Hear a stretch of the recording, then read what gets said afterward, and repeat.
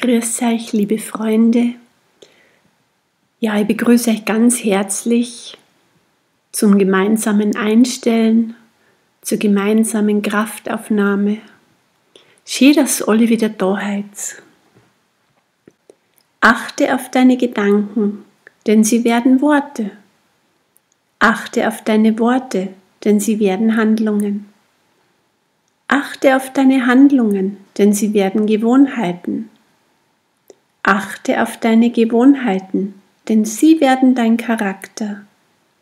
Achte auf deinen Charakter, denn er wird dein Schicksal. Ja, acht mal auf unsere Gedanken. Alles, was wir denken, kommt zu uns zurück, das Gute wie das Böse.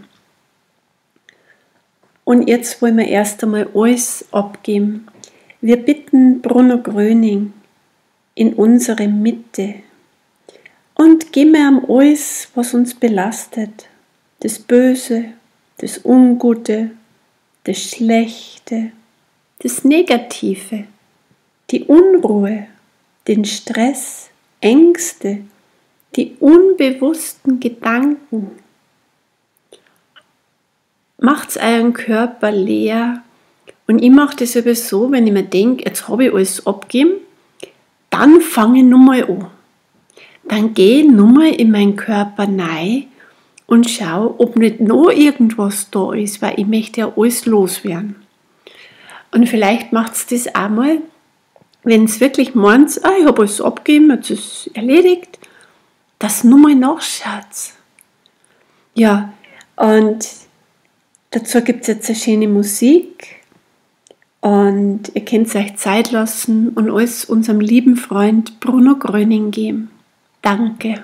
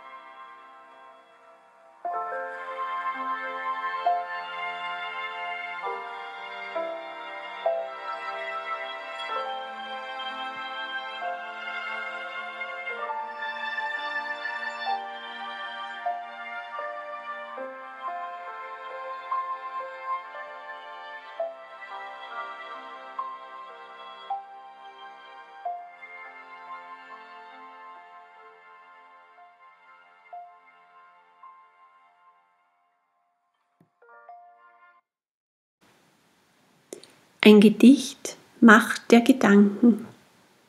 Aus Worten werden Gedanken und Gefühle. Wie denke ich also, wie will ich sein? Mein Gedankenkarussell dreht sich und ich wühle, mich allzu oft in diesen Kreislauf ein. Es ist mir im Kopf so schwer, ich kreise, wühle immer weiter, fühl mich dann wie im Kreisverkehr, nur ohne Ausfahrt, nicht so heiter. Ein unentwirrbares Gedankengewimmel nimmt mich gefangen ganz und gar. Sieh nicht das Grün, sieh keinen Himmel, denk nicht mal, dass ich Kreise fahr. Dann manches Mal, nur wie ein Blitz, ein kleiner unscheinbarer Gast. Ein guter Gedanke nimmt von mir Besitz, huscht dann vorbei, nimmt mir die Last. Ganz plötzlich kann ich wieder sehen, mein Kopf wird plötzlich wieder klar. Die Ausfahrt rechts, wär die nicht schön? Ich fahre raus, wie wunderbar. Wie schön, ich kenne nun den Code, der diesen Kreislauf unterbricht. Er kann mir helfen in der Not und seine Einfachheit besticht. Ja, ich finde das einfach wunderschön, weil Gedanken werden Wirklichkeit und wir können aus diesem Gedankenkarussell aussteigen. Und zwar indem wir diese bösen Gedanken oder die ratternden Gedanken unserem Freund Bruno Gröning geben. Und schon sind wir aus dem Kreislauf draußen. Danke. Ja, und ich möchte euch heute von meiner ersten großen Hilfe mit Bruno Gröning erzählen. Und zwar, es war im Februar 2018 und da war ich ungefähr drei Monate ähm, im Freundeskreis und da durfte ich eine wunderschöne Hilfe erleben. Und zwar, ich fahre immer recht gern zum Schwimmen nach Bad Wimsbach-Neuharting und das ist ein Kurbad und da haben nie Menschen, also man ist dort meistens für sich allein, das ist klein und fein. Und so habe ich das auch an einem Sonntag im Februar 2018 gemacht. Und als ich beim Eingang neige, da habe ich einen kleinen Rollstuhl gesehen. Und dann habe ich mir so für mich gedacht, hey, das ist ja toll, ein Kind mit Behinderung, also man sollte ja nicht sagen Behinderung, sondern mit Beeinträchtigung, aber ich glaube, ihr wisst, was ich meine, ähm, das darf auch schwimmen gehen und ich habe mich recht gefreut. Und als ich von der Umkleide rauskomme Richtung Hallenbad, da habe ich ein Kind bitterlich schreien gehört, nicht nur weinen, schreien. Und für mich war das klar, das ist dieses Kind, äh, zu dem der Rollstuhl gehört. Und es war wirklich so. Es war ein Junge, 10, 12 Jahre alt, also man hat schlecht schätzen können, äh, auf den Armen seines Vaters und er hat geschrien und geschrien und geschrien und die Mutter ist nebenher gegangen und der Vater, er hat aber gesungen von krumme Bananen irgendwas. Er wollte ihm halt eine Freude machen und äh, er hat es halt recht lustig gemeint, nur dem Kind war das einfach vollkommen egal. Und das Kind, es, es hat immer, was ich gesehen habe, äh, der Junge hat immer die Augen zu gehabt und er hat geschrien und geschrien. Und dann sind die aus dem Bad rausgegangen zu den Liegen und da muss man ein paar Stufen hochgehen und ein paar Stufen wieder runter. Und der Vater ist voraus und die Mutter hat dann das Kind gehabt und hat immer einen Fuß nach dem anderen nach vorn geschoben und die andere Hand, die hat es an seiner Stirn gehabt. Und das Kind hat geschrien und geschrien und geschrien. Und in dem Moment ist mir der Bruno Gröning eingefallen. Also ich war damals noch nicht so verbunden mit dem lieben Bruno. Und ich habe unter Wasser nur die Hände aufgemacht und habe nur gesagt, bitte Bruno, hilf. Und in diesem Moment ist das Kind immer ruhiger geworden und ruhiger. Und sie sind dann da zu der Liege rausgegangen, das habe ich dann nicht mehr gesehen. Auf jeden Fall, ich habe das Kind nicht gehört. Und nach einiger Zeit sind sie wieder ins Wasser gekommen. Das Kind hat nicht mehr geschrien, es war wieder auf dem Arm vom Vater. Der Vater hat wieder vor die krummen Bananen gesungen, die Mutter ist nebenher gegangen. Und dieser Junge hat so, ja, so ganz lustige Geräusche von sich gegeben, so, so glucksende, lustige Geräusche. Und ich habe halt immer gesehen, äh, dass er immer seine Augen zugehabt hat, wenn ich gesehen habe. Und als die Familie bei mir vorbeigeht, macht dieser Junge die Augen auf, schaut mir an und lächelt mir an. Und da habe ich gewusst, Bruno Gröning gibt's. Und Bruno Gröning hilft. Und das war für mich unwahrscheinlich schön. Und ich bin dann heimgefahren und eine Woche später, wieder am Sonntag, bin ich wieder zum Schwimmen gefahren. Und was sicher im Eingang den kleinen Rollstuhl. Und ich war natürlich schon neugierig, weil ich mir gedacht habe, na, jetzt bin ich mal gespannt, wie es dem Kind geht. Und ich bin in die Umkleide und komme raus und dann kommt mir die Familie am Flur entgegen. Und die Mutter hat die Füße von dem Jungen nicht mehr nach vorne geschoben, sondern er ist allein gegangen.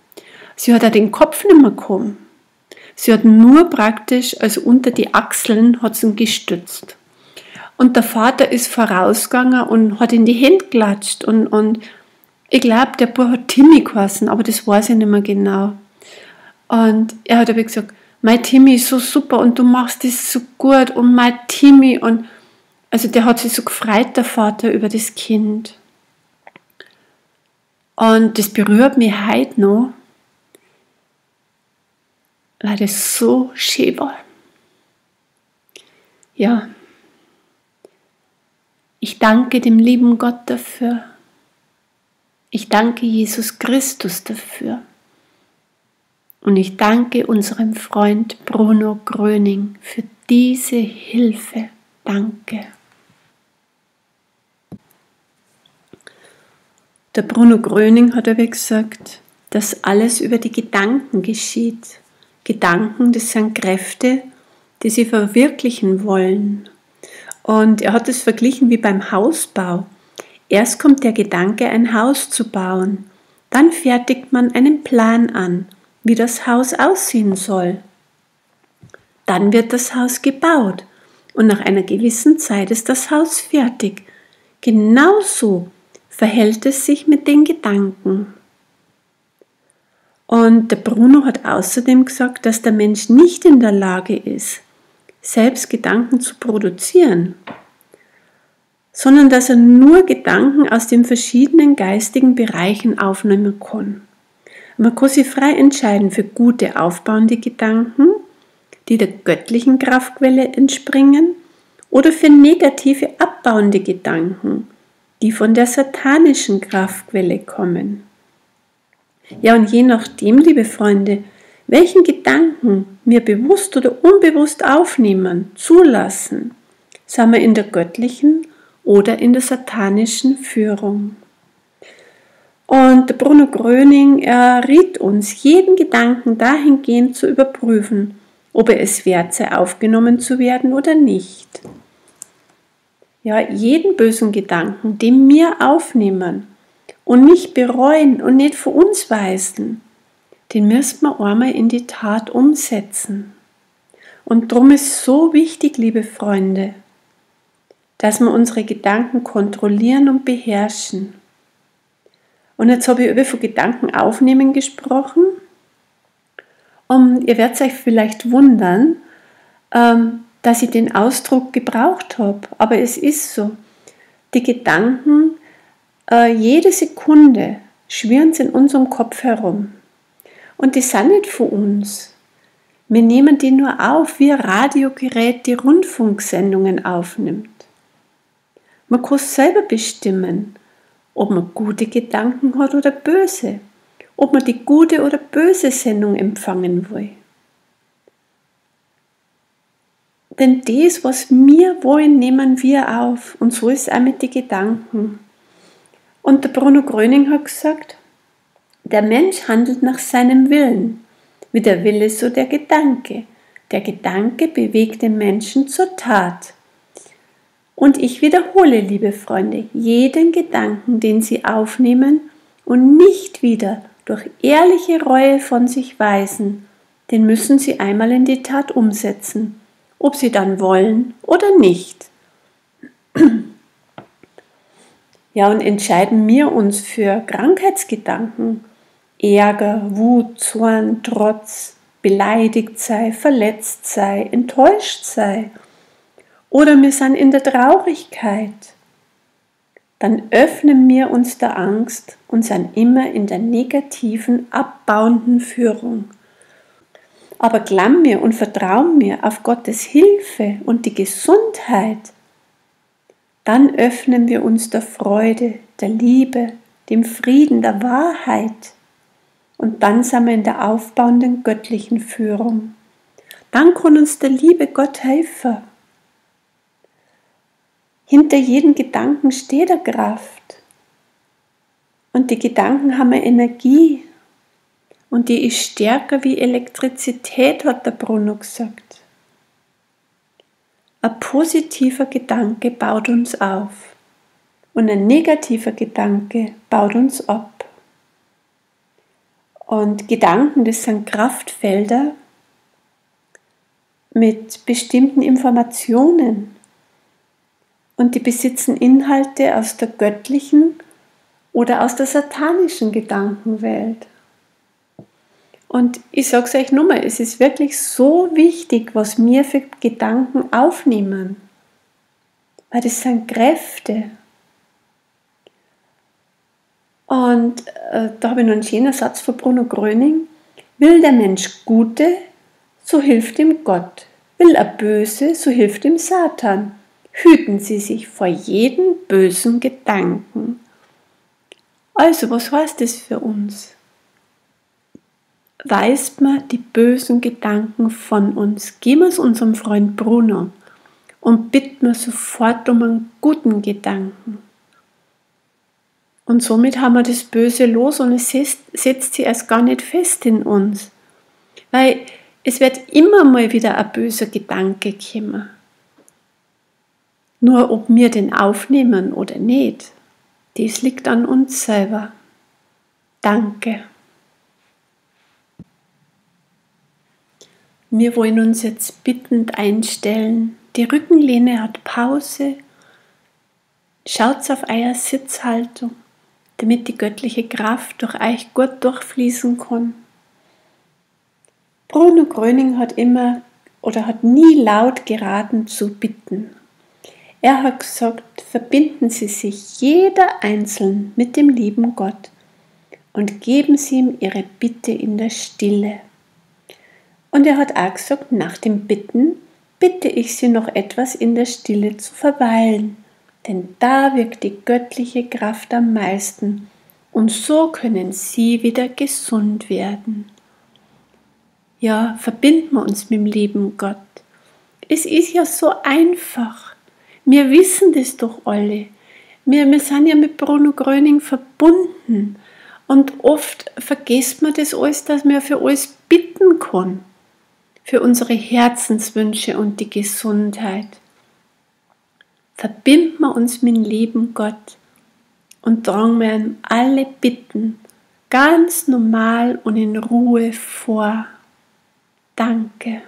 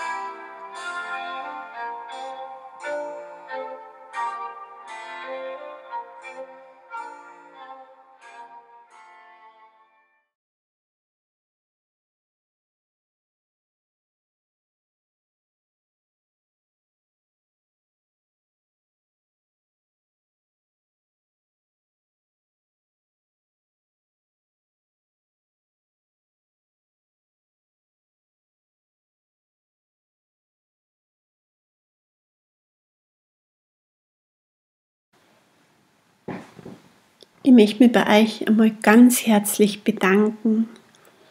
Auch für die wunderschönen Kommentare, für die wunderschönen Worte, wo ich vor euch gesagt kriege.